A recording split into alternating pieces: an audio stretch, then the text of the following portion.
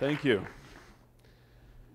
So, yes, I'm a humanitarian aid worker, and most often find myself in situations uh, a bit like this. Uh, there I am in Mozambique in 2007 uh, during a flood. I pretty much follow the disaster trail earthquakes, conflicts, anywhere that's really dangerous and there's a good chance of me getting shot. Uh, that's pretty much where I like to be because I thrive off that. But I also, like all of you, want to make a difference and change the world. So, for the last uh, decade, more than that actually, I've been living in Africa and in Asia, and most recently living in Port au Prince, Haiti, after the earthquake there, doing relief projects and doing my best to really make an impact. And in those places, I also make films. I'm a filmmaker, and I document the work of nonprofits and the nonprofits that I've worked for with the goal of relaying the message back to the donor of how their funds are being used. Because as you know, it's extremely important to encourage people to keep on giving and keep on supporting causes by showing them that their funds are making an impact. So I've had this interesting front row seat for the last decade on to be able to watch the evolution of how the power of our human connectivity has been put into play to make a difference in the world. And I follow that very closely, and it's something I'm very passionate about, about making a difference through uh, social networking and that type of thing. But I think there's a few fundamental flaws in the way that nonprofits position themselves and harness the power of our connectivity. And those are some of the things I'm going to be talking about today.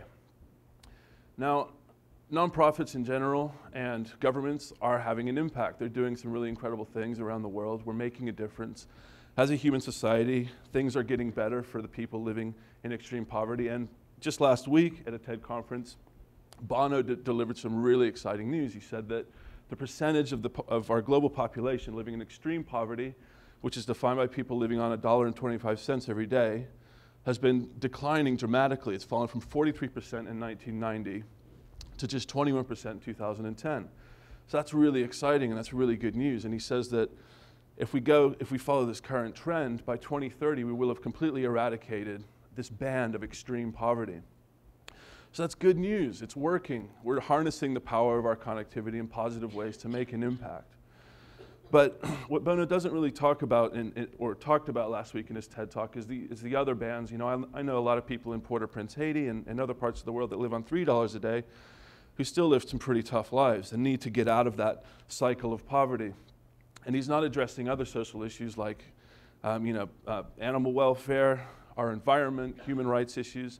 There are lots of social issues that we need to be doing more about and having a deeper impact on if we really want to see positive changes happening in the world. And so, what are nonprofits doing to leverage the power of our connectivity in order to increase our effectiveness? Why should we have to wait till 2030 to see this band of extreme poverty go away? Surely, we're all on Facebook, we're all connected. Why can't, why can't it just be tomorrow all working together that we actually come up with a solution and get things done. There are thousands and thousands of nonprofits out there. We're bombarded every day with these messages of what you can do to make a difference.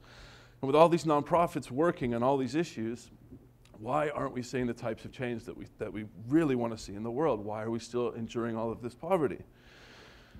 And nonprofits are smart, and they realize that we're all connected now and that we're all connected on Facebook and, and that we're all talking to each other and they're, they're starting to harness these new uh, creative outlets using the internet and online platforms. And I want to just show you a few examples of some of these platforms that exist now. Before, it just used to be this one-way flow where you could give to a nonprofit and you see a video. Now these are very creative ways of doing it, like Charity Water, they have a way where you can donate your birthday. People give, instead of giving you money for your birthday, you ask them to give money to the nonprofit on behalf of you. And that way you can do a well in Ghana and it's having a, a lot of success.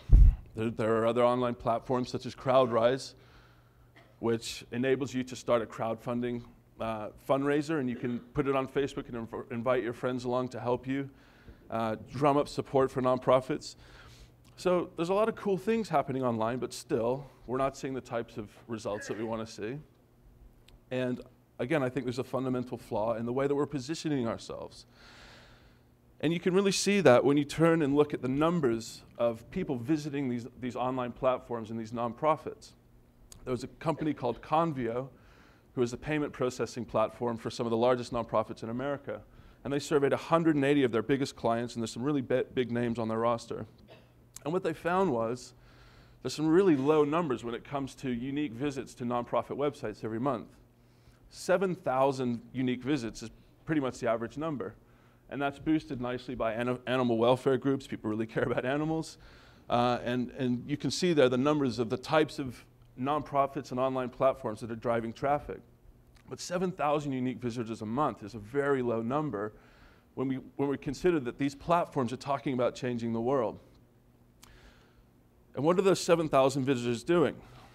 they're coming, they're making a donation, maybe. They're seeing what the nonprofit's doing, and then they navigate away. And they probably don't visit again for the next month or the next couple of months. And so what we're seeing is these 7,000 people that are visiting nonprofit platforms are essentially being preached to by the nonprofit, just like the nonprofit's continually preaching to the choir. And they're not really cultivating new people to come in. They're not really going after new, new supporters and new activists and motivating people to join them. They're just preaching to the same group of an average of 7,000 people every single month. And we know that to really harness the power of our global connectivity, we need to reach out beyond this choir. We need to go out and convert new people to come and join us so that collectively we can really make an impact. And so my colleague and I at RYOT started to really investigate why is it that people aren't visiting these websites? Even though we're harnessing the power of global connectivity, we're not getting the type of traffic that we need. And we look beyond the fact that, yes, we're all connected. And there's this assumption, I think, amongst nonprofits that just because we're connected and we're all on Facebook, that people will come. Build it and they will come. That's the mentality now. But when you really think about it, people aren't necessarily interested in helping you build a well in Ghana. People aren't interested in all the causes that nonprofits are pushing every day. What people are really interested in is what's happening today. What people are really interested in is news.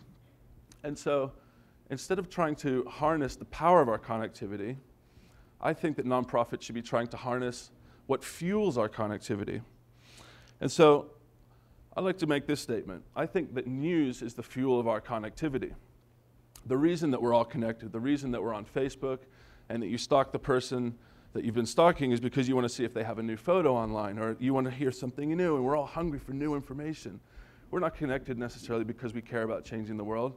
I hope many of us are, but the real reason we're all on Facebook is because we want news. We're consumers. The reason why news websites get the most traffic and social networks get the most traffic is because there is incentive to return time and time again. You, you go to a news website maybe once or maybe twice, several times a day. And so that's the, that's the way to drive traffic. And so if news is the fuel of our connectivity, and we know that we need to harness the fuel of our connectivity if we really want to see global change, That wouldn't it be cool if there was a news platform that did that? And that's what we started. RYOT News is the first news platform where every single news story links you through to an action, where the news is the driving force behind how you interact with the world.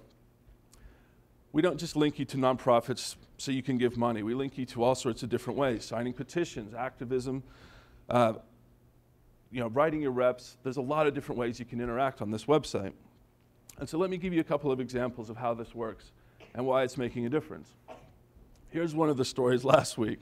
Horse meat was found in tacos in Europe. Big news story. Um, on any other website, the BBC, Huffington Post, you would read the story, you'd get to the end, and that would be it, you'd move on. Now, you can read the story, and at the bottom of the story, I wish I could show you the actual website, but at the bottom, our, our editors curate the story and link you through to an action you can take. If, you, if you're interested enough to read this story about horse meat and tacos, maybe you care about the issue of global hunger. And right here on the website, you can link through to Feeding America and find out how they're doing a lot to fight global hunger and, and hunger here in America in particular. And right there on the website, all interactive within the site itself, you can give and become part of the news. And so our tagline is you can become the news. Let me give you some more examples. Here's a big story last week as well. US troop deaths in Afghanistan at a five year low. That's really good news. And just maybe, if you are interested enough to read that story or share it on Facebook, maybe you're also interested in learning more about the Iraq and Afghanistan Veterans of America. And there again, you can give on the site.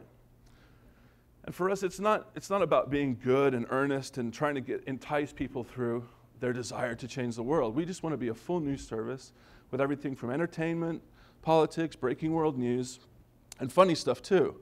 Here's a story about the the crazy woman who loved to tan, and spectacular tan she has. And that was actually a big news story last week. People were talking about it and sharing it. And right here on our site, you can look at more videos of people with crazy tans. Oh, and there you go, the Skin Cancer Foundation of America right there, linked on the site. And so there's this very interactive experience going on now where we know that we're all connected. We know that Facebook's powerful and all these social networks are powerful. But that in itself is not the power. It's what fuels that. News, we think, is the fuel of our action. We think it's the fuel of our human connectivity. And now on RYOT, we have all of these nonprofit partners that are joining us. We have some really big names. And it's cool because we're giving them a new outlet to reach out to donors. Now they can share articles that are related to them, so they have new things to share with their people. They're no longer just preaching to the choir. They're trying to entice people and interest them by what they're interested in. This is really flipping the model on its head. Nonprofits traditionally have been a voice crying out in the wilderness, hey, come help us drill a well in Ghana. No thanks, I'm not really interested in that. I'm more interested in the woman with the, the brown face from tanning. Well, now we flipped it on its head. We're capitalizing on what you are interested in and what you're talking about at work around the water cooler and using your interests and what everyone's connected and talking about today to link that back to causes. And so the cool thing is, we just launched this site in October, but it's, al- it's already working really well. And as I mentioned before, the average uh, number of unique visits for nonprofit websites traditionally has been 7,000 in the last couple of years, every month. But already on this website, we're getting 7,000 unique hits every single moment at particular times. So that's 7,000 unique eyeballs on causes for the first time, and we're very excited about this model. And so I just want to encourage you as you go out and consider how, how you can change the world and what you're doing to change the world. Don't just think about how you can harness the power of our connectivity. Really think about what drives the power of our connectivity, because if you can harness that, the change that we're going to see is going to be much more powerful and happen far quicker. Thank you.